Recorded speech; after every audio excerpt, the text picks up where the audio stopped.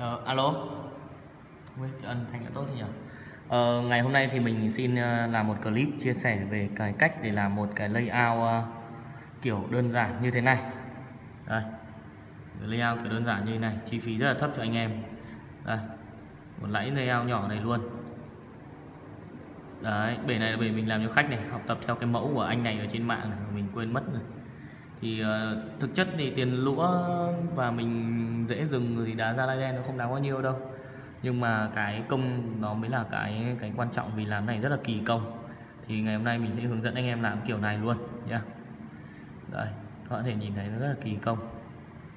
Nó không khó đâu. Thì cái phần nguyên liệu mình cần chuẩn bị đấy là bạn nhìn thấy đây đá da lai đen này lũa chùm xương này một ít bông gòn y tế này đây là bột bột đá da lai đen ờ, cái mịn mịn này thì bạn đập cái đá này ra cũng khó mà. Tiếp theo đấy là cái mùn cưa lấy ở sườn cưa. Mùn các bạn lấy mùn loại uh, đủ kích cỡ được. Loại này loại hơi hơi to đấy. Mình nhìn thấy là nó hơi to đấy. Nhưng mà vừa vừa vừa vừa và to còn một loại mụn hơn ờ, mịn hơn như cám nữa. Uh, một ít dễ rừng đây, một ít mễ rễ rừng này để tí nữa mình làm cái rễ rừng trồi ra mặt đất như này. Đấy. Đây là lũa chùm xương. Thì cái yêu cầu của lũa chùm xương ấy là các bạn phải chọn à, nó hơi khắt khe một tí. Đây các bạn nhìn cái tay này không? Đây này từ đây cho đến đây.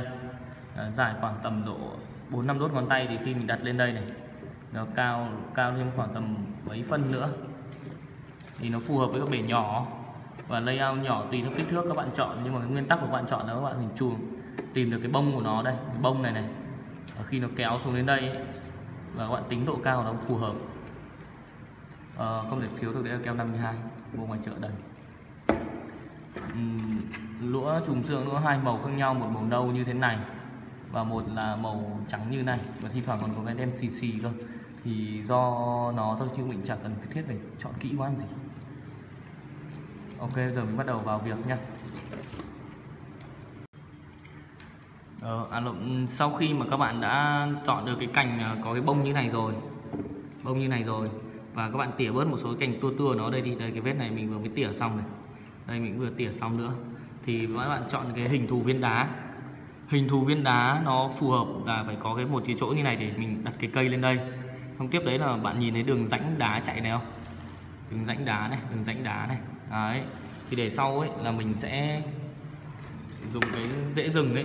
Đấy, mình sẽ quấn nó theo cái đường rãnh đá này. Cái này, quấn theo đường rãnh đá này. Đấy, thì nó mới tạo thành được cái cái cái lì vào trong đá nhìn nó rất là rừng rậm luôn. Các bạn hiểu mình chứ rồi, bây giờ mình à, sẽ triển khai luôn nhé. Là mình tỉa cái này này. Đây, mình sẽ chọn thanh này để là thanh à, làm làm chính cho cây của mình.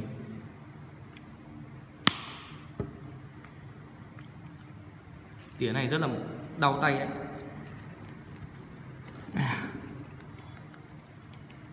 ấy. Còn về phần lũa ấy, các bạn có thể xử lý theo hai cách. Một là luộc hai là các bạn có thể uh, ngâm vào nước. Để ra hết chất nhớt đi tùy theo từng từng cách mà các bạn nghịch thôi. Ok?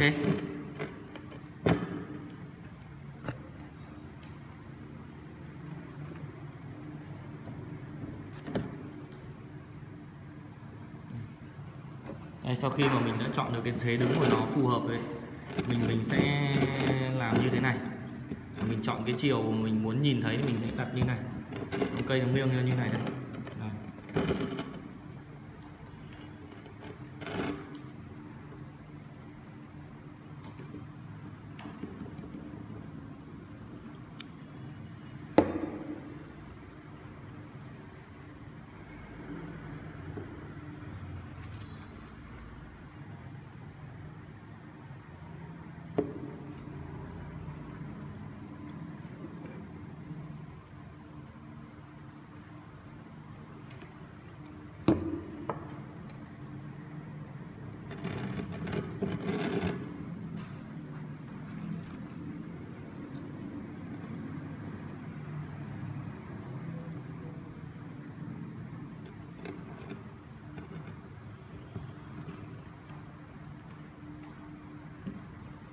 Anh em dán cẩn thận nhé không keo 502 dính vào tay sấp mặt. Và bây giờ mình đã có được cái dáng của nó như này rồi. Ok anh em nhìn nhìn thấy. Đấy. mình sẽ chiều này là chiều đổ về này. Chiều này nó dễ bên dưới này.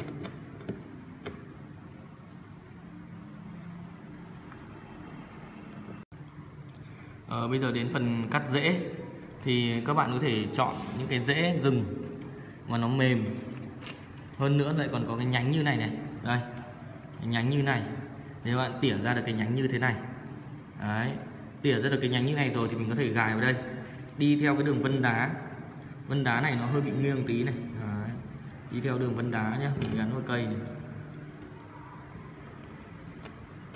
Đấy, được chưa? Đi theo đường vân đá khi bạn nhìn thì nó thành ra như này. Đấy các bạn để xít xít một tí. Uống quấn làm sao xít xít một tí là được nha mình có thể chỉnh.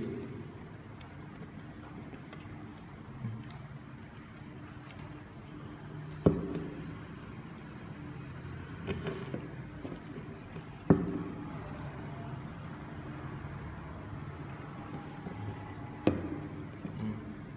Nhỏ keo 52 mùn cưa vào. Lắp mùn cưa vào đấy xong rồi nhỏ. Đấy là nó dính chặt vào rồi, đẹp rồi và tiếp tục làm những cái tiếp theo như thế cứ gắn dần dần vào như thế. Cố gắng chọn được những cái chạc này này để mình lắp vào những cái đầu tiên. Ok anh em hiểu chứ? Ờ, ban nãy mình chọn cái cành à, trùng xương ấy không phải cành nào nó cũng được. Cái đầu đẹp đầu đầu hoa trên nụ đẹp như này. Thì các bạn có thể fix bằng cách nghĩa là muốn cho nó dày dặn nhìn cái chùm nó đẹp hơn thì mình có thể ốp cắt một cái cành này ở những cái tay chùm xương khác chẳng hạn đấy. Ở những cái cành này chọn lấy một cành như chùm xương như này. Không các bạn cắt nó thành cái miếng như này. Ở, ốp nó vào đây. Miễn làm sao hình thù nó tương đối một tí để nhìn nó ra cái cây hơn. Thì sau đấy mình cũng lại dùng bùn cưa và keo 52 mình dán vào. Đây mình làm nó thấy nó tương đối ổn. Chưa? Các bạn nhìn ra cái dáng cây chưa? Đấy, nhìn ra cái dáng cây chưa? Cứ thế mà mình dùng mình ốp vào thôi bùn cưa này mình ốp vào cái khe mà nó tiếp nối nhiều nhất ấy, để cho nó tăng cái khả năng dính ấy.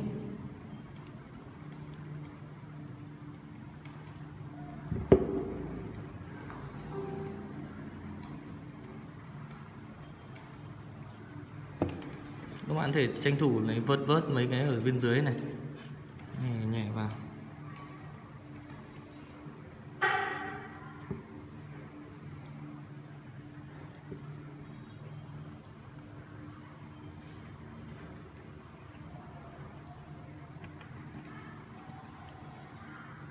Ây mẹ ơi lại dính vào tay rồi. Các bạn cẩn thận nhé Dùng cái này rất dễ bị dính vào tay nhé Nên là nên là không đùa đâu Trẻ con là không nên bắt chiếc. Ok Anh em có thể nhìn thấy chưa? Um, Đến tiếp theo là mình làm cái rễ cho cái cây này. Cái Rễ cho cây này các bạn có thể chọn những cái cành nó tương đối Phù hợp Nhìn vào nó hài hòa với cái thân hình. Giả sử thân hình nó cây nó tròn to như này Đây to như này to như này các bạn thì chọn dễ, cánh dễ nó phải nhỏ hơn một tí. Đấy bạn tìm tìm cái đoạn nó nhỏ nhỏ hơn một tí. Nhỏ hơn như cái này là phù hợp. Mình sẽ ốp vào đây. Các bạn nhìn ốp nhé là phải cái điểm này này. Đấy cái điểm đầu ngón tay cái mình chỉ đấy mình ốp vào cái điểm này. Đấy nhìn xong rồi lì nó xuống. Dán theo nó đường vân đá. Đấy các bạn nhìn không? Dán theo cái đường vân đá là nó sẽ ra hình hình hình dễ rất là nhanh.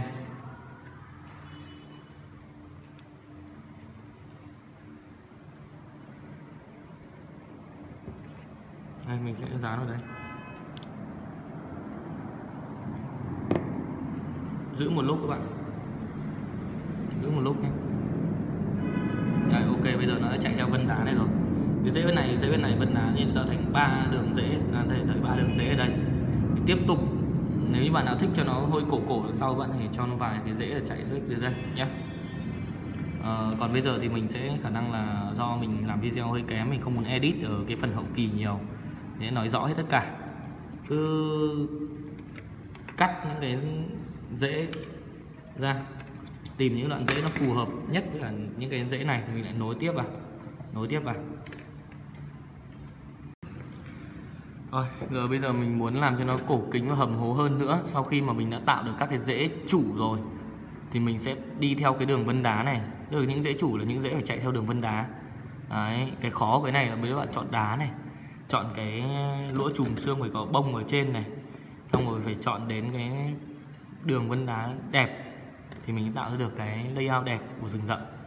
Tiếp theo là mình tạo ra những cái rễ phụ cho cái rễ chính rễ chủ đấy. Đây mình vặn xoắn những hai cái rễ nhỏ lại với nhau. Các bạn thể cắt từ những cái cắt từ những cái rễ rễ rừng này đơn này ra. Đấy, tỉa đi chọn những cái nhỏ nhỏ phù hợp thôi nhỏ hơn cái rễ chủ nhé cái rễ phụ giờ phải nhỏ hơn rễ chủ rồi vặn xoắn vào nhé vặn xoắn lại như này như kiểu mình uh, cho hai sợi dây chỉ vặn vào nhau dây dù vặn nhau thế thôi.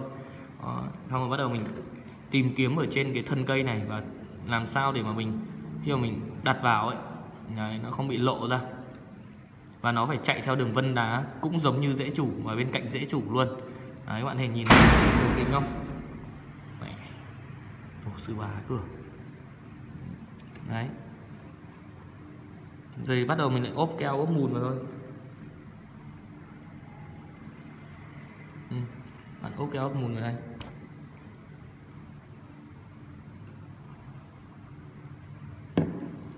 Đợi một lúc nó khô đi sẽ rất là đẹp. Anh em không phải sợ cái mùn này sau này nó xấu hay như nào đâu.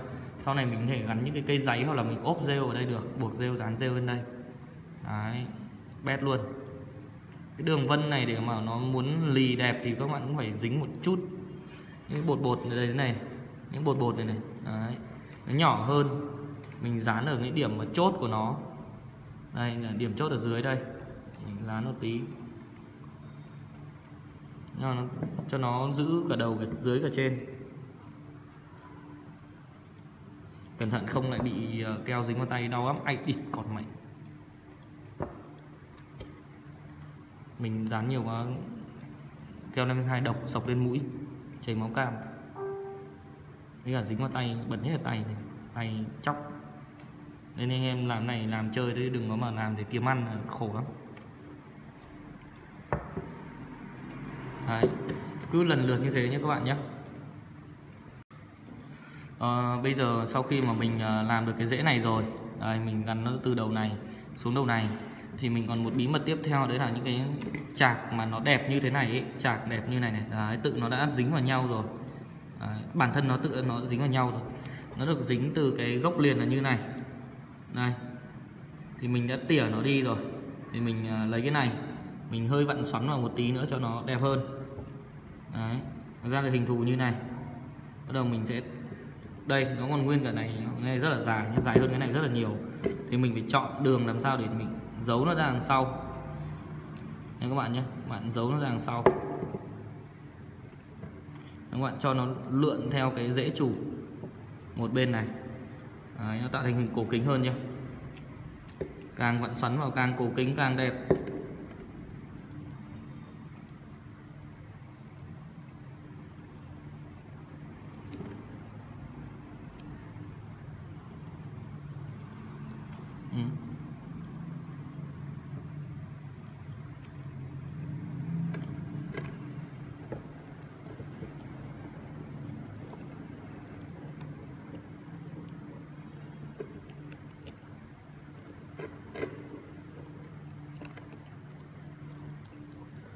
ừ. Xong bây giờ mình chốt ở phần đầu này của nó.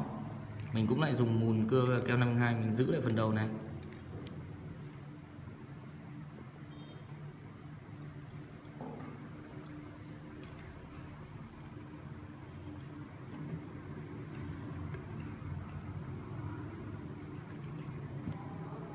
Giữ một lúc.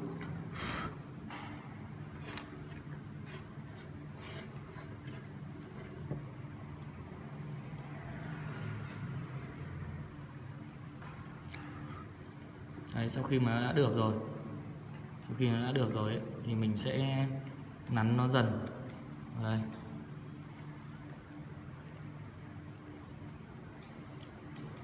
Ừ. các bạn đã nhìn ra cái thế thế thế được gọi là thế thế bonsai dễ cây. Rồi sau khi thì mình làm được cái cây bonsai này theo những cái phương pháp hướng dẫn ở trên ấy thì mình sẽ cho anh em sâu thành quả nhé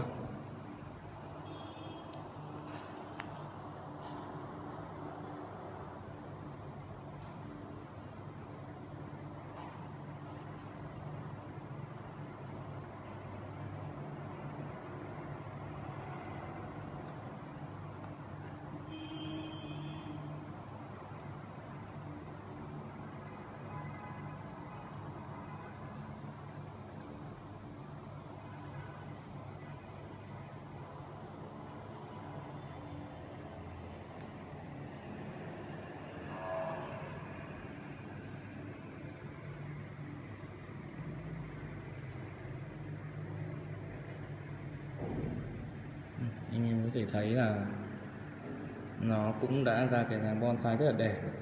Những cái phần mà anh em không ưng anh em có thể chèn cây giấy hoặc là ươm ờ, mini fit chúc anh em có một ờ, bể bonsai mini tanh như mình đây. Rất đơn giản, nhẹ nhàng, ok?